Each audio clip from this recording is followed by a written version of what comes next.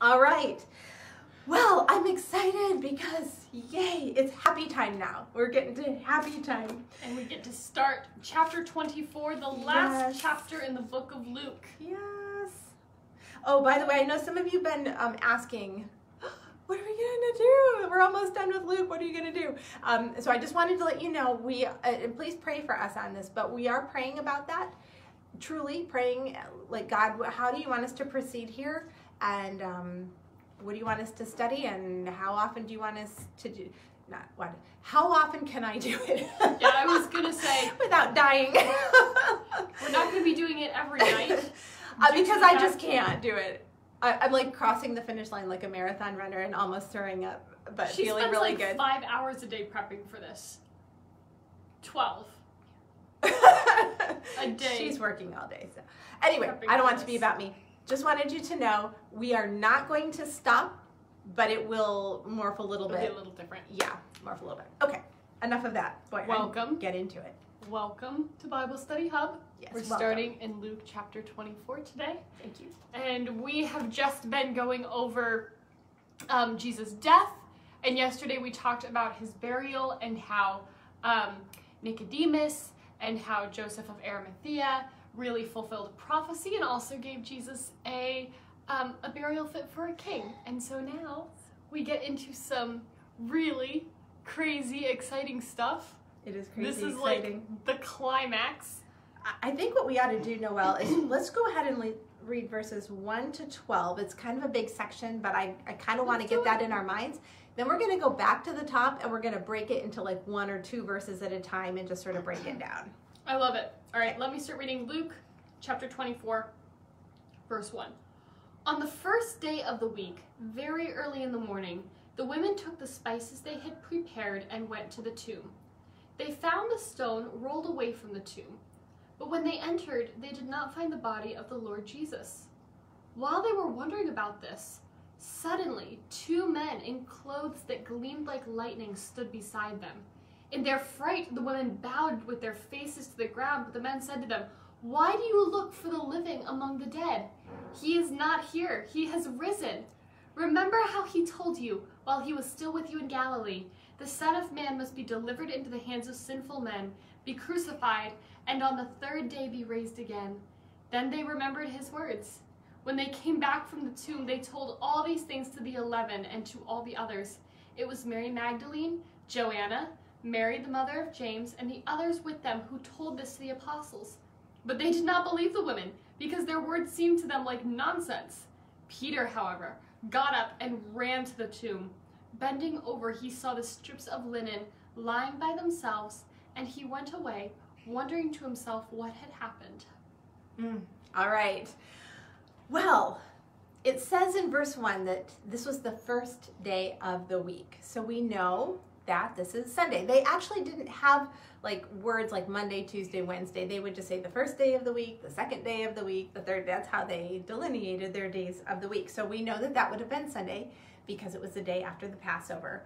And I also just wanted to say, how do we know that Jesus was buried prior to sundown on um, on Friday? And and I, I just wanted to make sure that we we have clear understanding. Before we ask that question, Mhm, can yeah. we just share with them briefly why it matters that he was buried before sundown on Friday?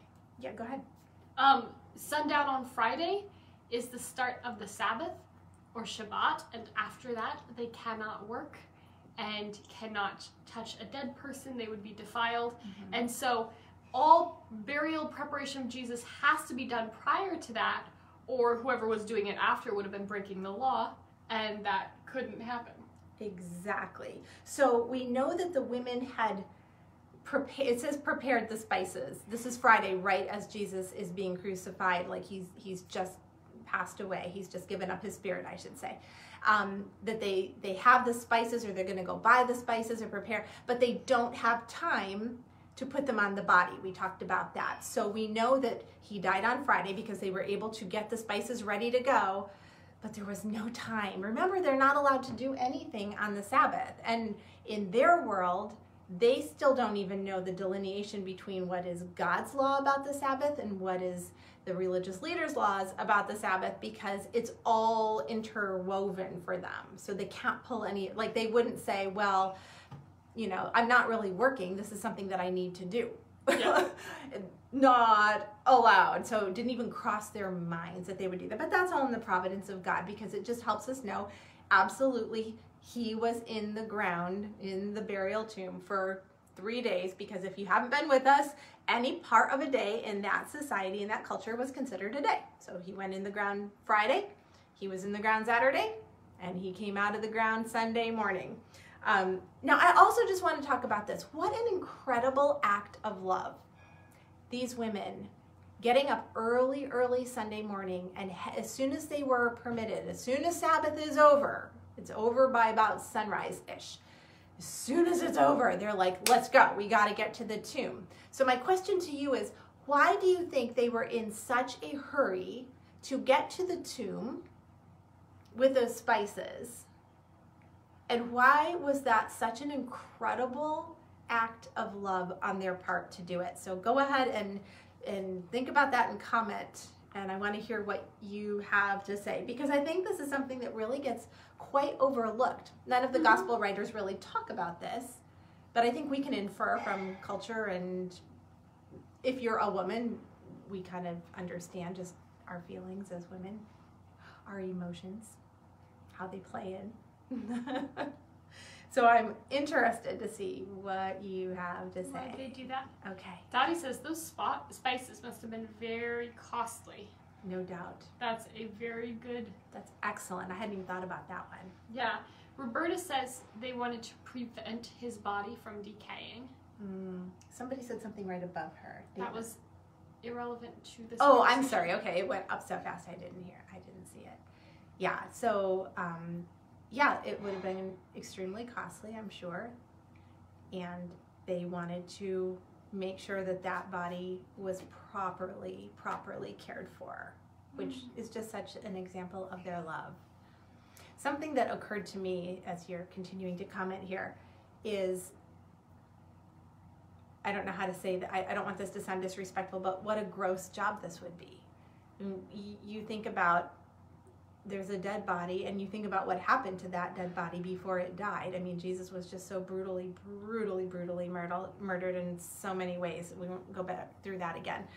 Um, but man they're gonna they're gonna undo all the you know the strips and they're gonna put more spices on him. And if they haven't done a good job now they don't know this that it's all in the providence of God that he will not be decayed. In fact, he won't even be there.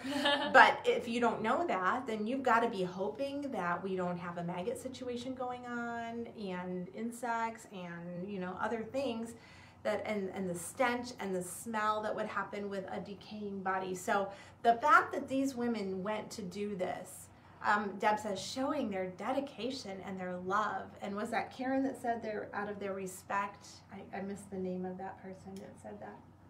Um, yeah, Karen says to keep Jesus' body from decaying. Louise said they honored and loved him so much they wanted to give him a proper burial. Yes. Judy said the compassion of women. And Susie said mm-hmm. to honor Jesus. Yeah. Terry says, I'm not sure, but I think the love and respect for the Lord and wanted to care for him. And Deb says just showing their dedication and love. I love that. And I think all of that is true. And by the way, do you notice who's not doing this? I don't mean to rag on people, but um where are the disciples? Where are the 11? Where are those 11 guys that Jesus spent 3 whole years with and poured his entire life into? And additionally who kind of owe him right now in a way they all left. Yeah. Like they should have been there. You would think that they'd be like oh we we failed but you know what? Let's take care of it now. You know where they are? Hmm. They're hiding. They're locked up in a little room freaking out. They're hiding in a room. They're scared. They have not yet come through this on the other side. They are freaked out they didn't watch what happened, so they've heard what happened. I'm sure it's been told to them by the women and others who were around, but they didn't even stay for the crucifixion. They they weren't witnesses to it. So, yeah, Emily says, were they scared for their own lives? I, I think absolutely they sure were. Margie says they were behind closed doors. They didn't they didn't go to the tomb.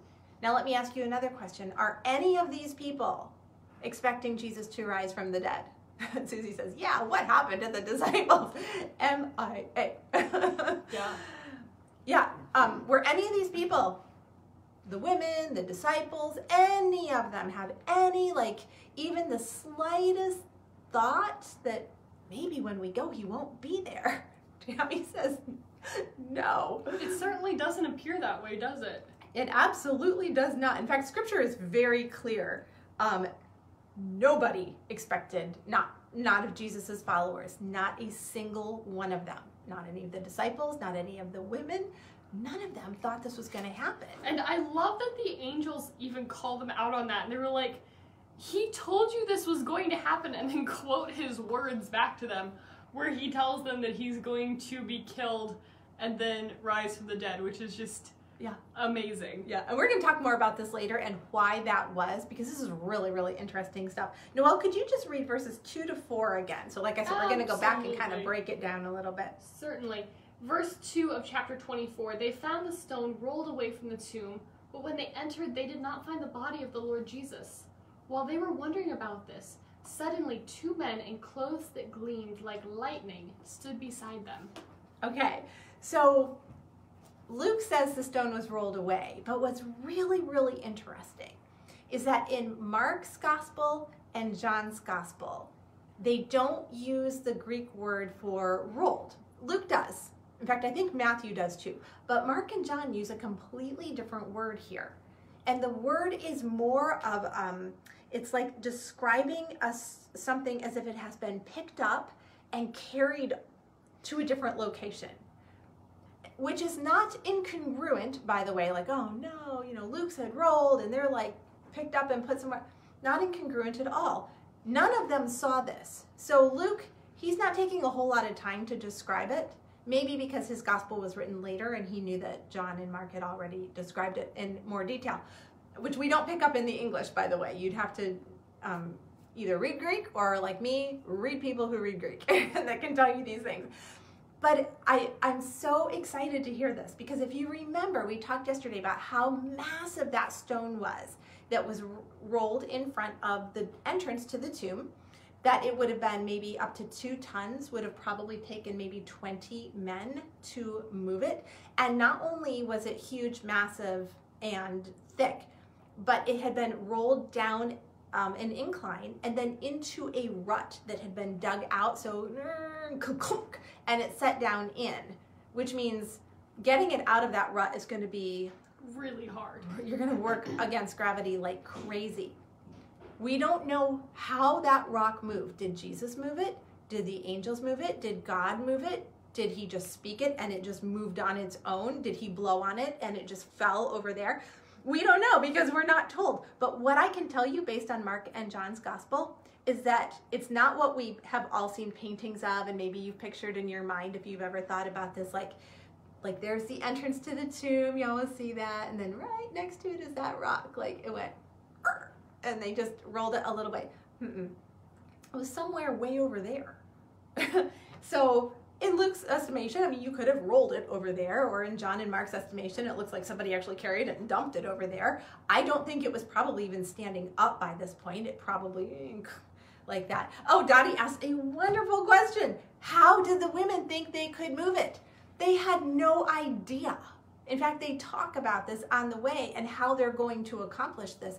They don't know. One of the other gospels? I don't remember which one. Yeah. And Emily says, I'm so curious about the glowing clothes. We know from the other accounts that these men, young men, in glowing clothes are angels. And um, I think it's in John that it tells us that they're actually in the tomb. Uh, at one point, one of the writers says one is sitting where Jesus' head was, one is sitting where his feet was. So, and, and they're moving around because you get like different locations based on the gospel. One says they're standing, one says they're sitting. Again, not incongruent. And by the way, when you hear stuff like this, I just have to say this. A lot of people feel like one um, gospel writer wrote a gospel, and then the other gospel writers took his manuscript and basically they copied and, and they changed a couple words here and there. That is not what happened. If it were, we wouldn't have so many different perspectives on situations. We wouldn't have Luke completely leaving out things that maybe Matthew puts in.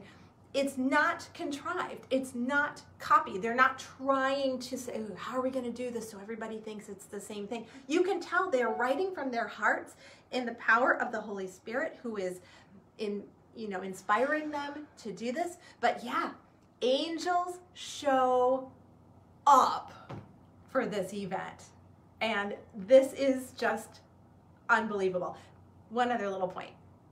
Jesus did not need the stone rolled away to get out. He needed the stone rolled away so that the other people could come in and see he wasn't in It's there. a wonderful comment.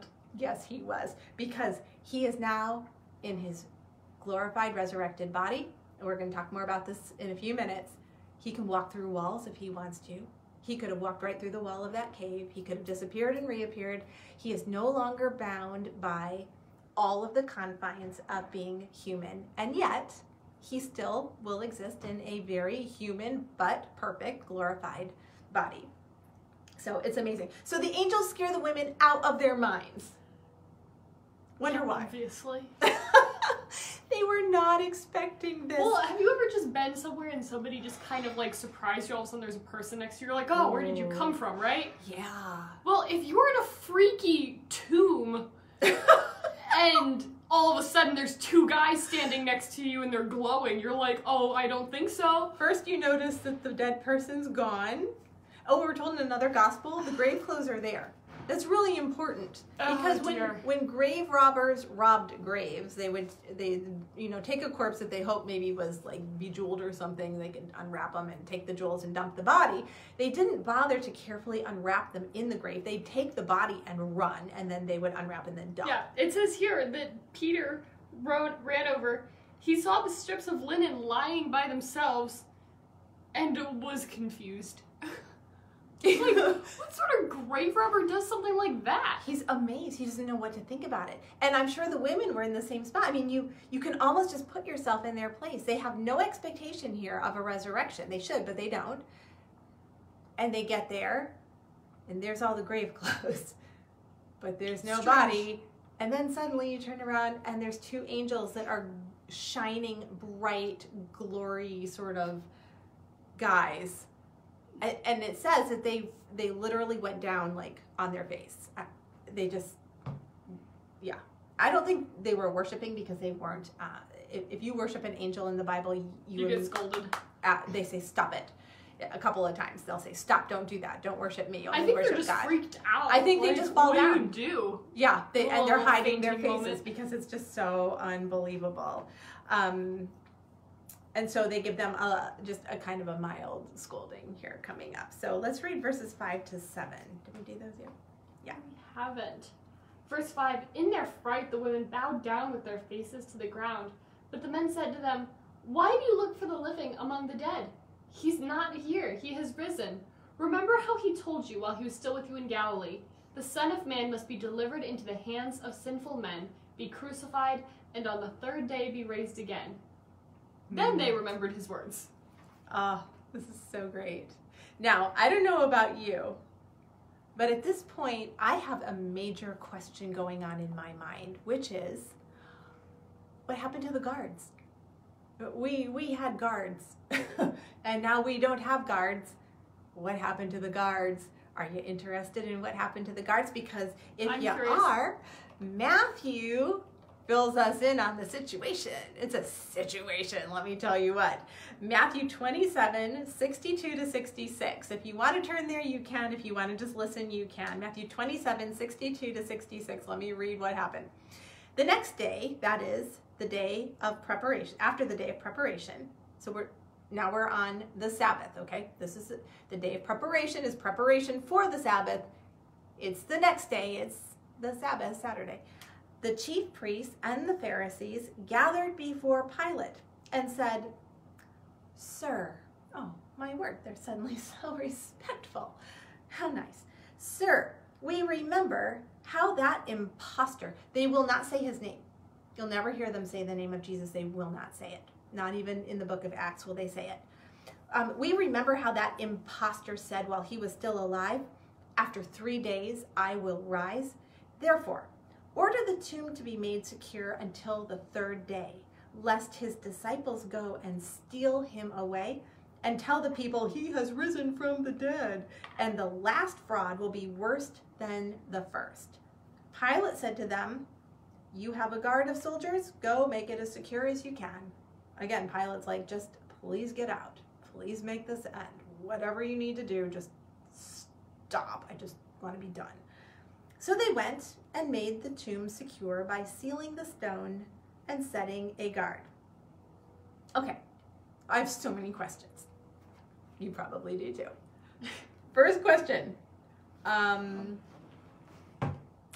How come the religious leaders totally knew that Jesus had claimed he would rise from the dead on the third day, but none of Jesus's followers understood so it? Odd. How, okay, how is that possible? So the religious leaders actually say to Pilate, he claimed he was going to rise again. They're nervous about an actual resurrection. They're like, how can we make this stop? And if there's not one, what if the disciples Fake it. try to make sure that everyone thinks that there was? Because he said he would do that. These evil, satanic, wicked people got it. And Jesus' beloved followers, the women, the disciples, none of them got it. It's very quiet out there. It's a hard question. That's a really, I know. This is why it takes me so long to prepare because I'm like, oh, I don't know what to say to that. What is the answer? I have to. How is find it possible? uh, Margie says that is funny. Yeah, it's really weird, isn't it? Because you would expect the exact opposite. Like if you were writing the Bible or I was writing the Bible, I would have it so that the religious leaders had no idea he was going to rise again, and all the disciples and all the women and all his Yeah. followers, they knew it. They were waiting for it. I mean, that's how it would go if I were writing it. God does the absolute opposite here, which he so often does. And you know, his purposes and his ways are so far beyond our ways. Roberta says they are still thinking he was going to overcome Rome. So you're speaking of the disciples and the followers of Jesus, and I think I, you make yeah. a really excellent point, Roberta. Their minds have no place for a crucified Messiah, and they believe that Jesus is the Messiah. So, A plus B equals C. Jesus is the Messiah, plus Messiah will overtake Rome, equals Messiah cannot die on a cross. Emily says the Jews were still afraid and probably believed he was the Messiah. I think, again, really, really good point. The religious leaders, they rejected him, but they were nervous, very nervous that he was. Um, they're going by quickly, so you're going to have to pick it up on your computer. Yeah, Lori said Jesus did perform miracles. Mhm. Susie says, Did the guards see or hear Jesus arise, then run away because of total fear? Emily Mm. said his followers could have been in such shock and horror they weren't thinking straight yet. Uh, that's a really good point too. I think we underestimate the shock and horror because we know what happened. But on Right. on the other side of it, when you don't have 2020 hindsight, it's got to look just insane. Like what just happened? How did this just happen? So I think that's a really great point. Here's what's so incredibly interesting and again just helps us understand this is not a book written by just regular old people who are just trying to make up a good story and tell you fairy tales. That this book, yes, written by men, but inspired by God Himself without error, totally true and right because only God thinks like this. We're told in Luke 9:45. Now I'm going to two references that we've already covered in the past, but I'm going to read them to you again. Luke 9:45, he had been speaking of his crucifixion and suffering, and it says, "But they did not understand the saying, his disciples, and this is key. It was concealed from them, so that they might not perceive it, and they were afraid to ask him about the saying. It was concealed from them, so that they could not perceive it. My question to you is, who concealed it? Who, because this is key information, you have to get this or nothing makes any sense. Who did the concealing? So that when Jesus actually spoke very directly, I'm going to suffer, I'm going to be crucified, I'm going to rise again, he said it over and over. We're told here that information was concealed from these disciples. Who and why? Who concealed it? And while you're thinking, let me read the next one to you because it's a parallel ish thought. It's not a parallel passage, but parallel thought. Luke 18 30. But they understood none of these things. Once again, speaking of the crucifixion and suffering. And again, this saying was hidden from them, and they did not grasp what was said. Roberta and Judy and Tammy and Susie are all saying, It was God. It was God. It was God. It was Jesus. It was God the Father. Yeah, But why? Why would God do something like that? we got step one. You're right. It was concealed by God Himself. He somehow, like blind, not, not physical, but um, spiritual, blind, so that even when He spoke clearly, they didn't get it. They couldn't get it. Why did He do that? I'm really interested to hear what you have to say because this is so incredibly important. And it goes back to our point of how come the religious leaders got it right. and the disciples didn't we said well we now we know how that happened the the followers of jesus it was concealed god actually made it so they could not understand. They would not understand it. He blinded them from that. Now the question is why did he do that?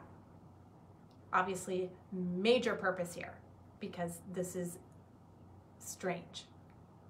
You typically don't think of god as blinding you. You think of him as enlightening you.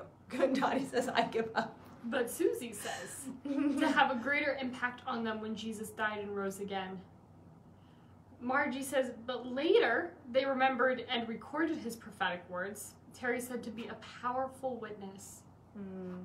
Excellent thoughts Deb said faith and faith. All right. to develop faith. All right. When the religious leaders are worried about the disciples coming and stealing the body, it was outrageous that they would be worried about that. Here's why.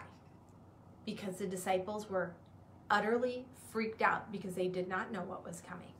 And they all fled. And that fulfilled prophecy right? You remember? Like everything that was going on was just fulfilling prophecy left and right. Um, also i'm just trying to think of like how to how to put this into words. There are people today who scoff at the resurrection and they'll they'll say things like um, well jesus never really rose again anyway. And they'll say you know his his disciples came and they stole his body um, you know or their, his friends came along and rolled the stone away and they took the body and they hid it and then they claimed it was a resurrection. One of the greatest um, points in the actual resurrection being true is that none of Jesus's followers, none of them expected him to rise again. Had they expected it, all this information would have been completely different. Yeah. And people would have had a right to say, we don't know. I mean, they all wanted a resurrection really, really, really, really bad. What were they willing to risk to get it? Maybe they stole his body because they were just dying for that to happen. They just had to have him rise again. We can look at scripture and we can go, absolutely not. It wasn't even on their radar. They had no idea it was going to happen. Even after it happened, they couldn't figure out what had happened. it wasn't like they saw the empty tomb and went, oh my word, he said he was going to do this. He did it. Angels have to come and tell them. And then when the women go tell the disciples, they're like, excuse me, total nonsense. They have don't no even idea. believe it. So, uh, yeah, some of you said that God did it to protect them. And he did it, yeah, both to protect the disciples and to also protect the validity of the word of God as it went out. Absolutely.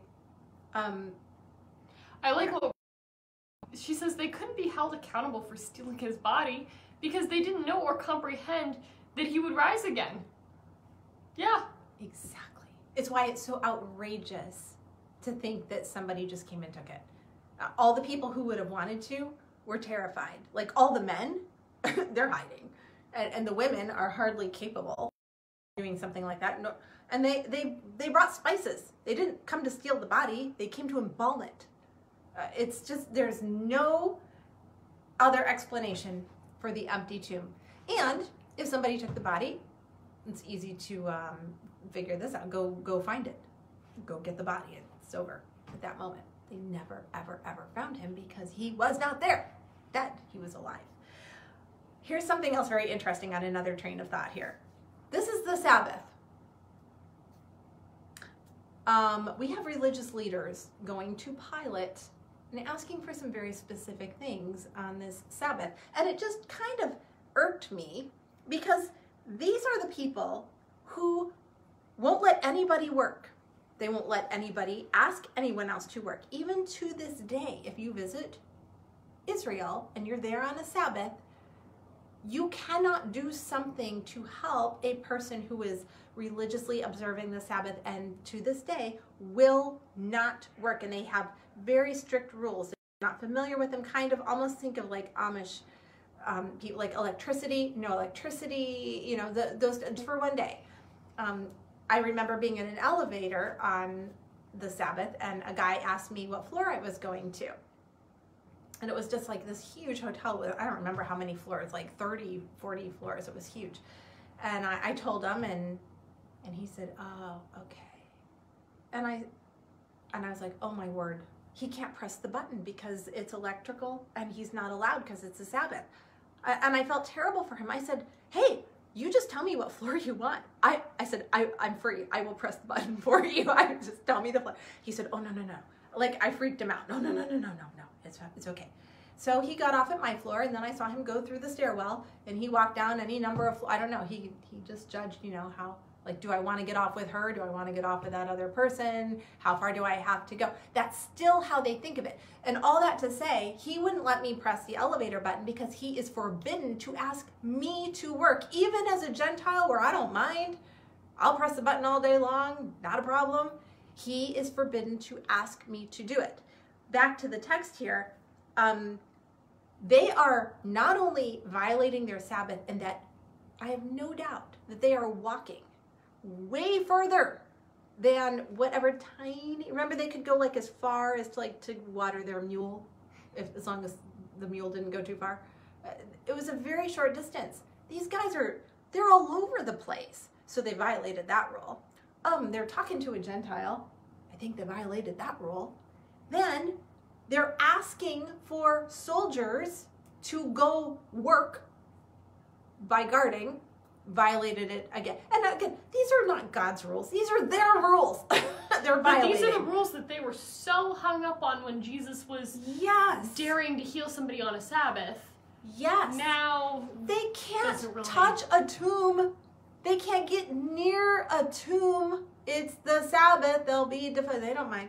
They're they're all. We got to seal this thing up. So they break at least four of their own rules probably even more than that if we really stop to think about it. I actually wrote in my notes, but what they break any rules they want. Morons. That's what her notes look like. They're great. I called them morons in my notes because I got mad. So I'm not a very good Bible teacher. Calling people morons in my notes. Anyway, it just made me mad because they saddle these people with these rules. They sa- they try to saddle Jesus, and then they end up killing him because he doesn't keep their rules. And then they just go break them all. Oh, here's the other thing.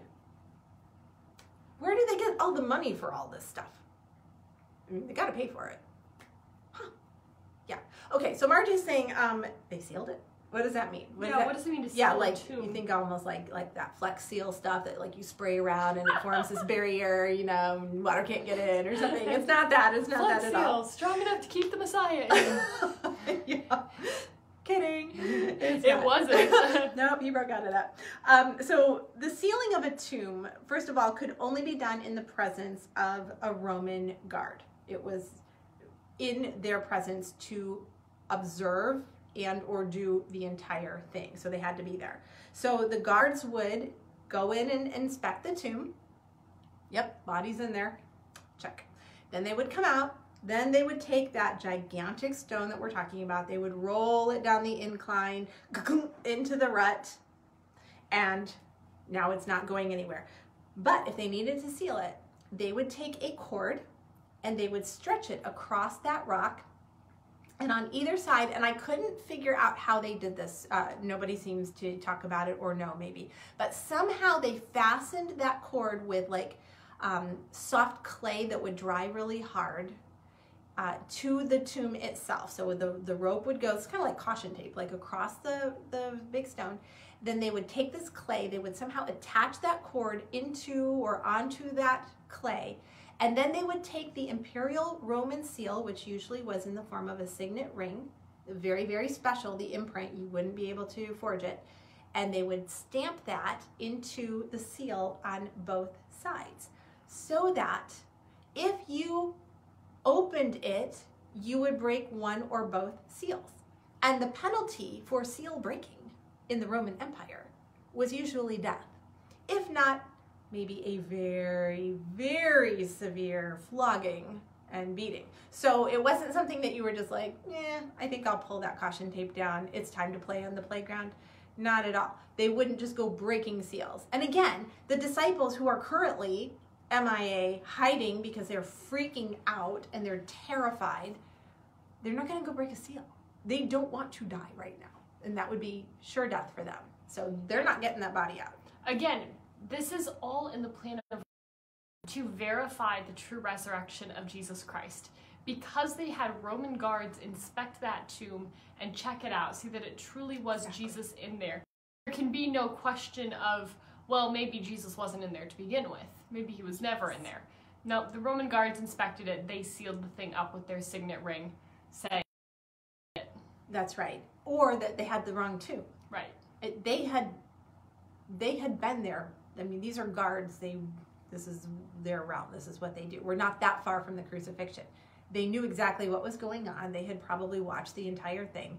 They were hired to stand guard, not fall asleep, and make sure nobody crosses that line. And nobody, nobody in or out. that's right. Now I want to read Matthew 28, 11 to 15. Maybe you want to write that down for them. Matthew 28, 11 through 15. Did you already do it?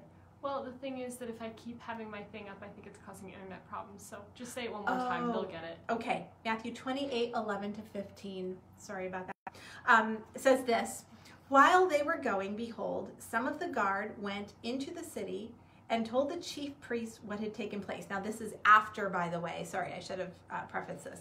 This is after the whole thing comes apart. So uh, Jesus is out. Let me back up then. While they were going, behold, some of the guard went into the city told the chief priest what had taken place. And when they had assembled with the elders and taken counsel, they gave a sufficient sum of money to the soldiers and said, Tell the people his disciples came at night and stole him away while we were asleep. They're paying him, they're paying them a bribe. The, the religious leaders say, um, Oh boy, you're telling us he's gone, huh?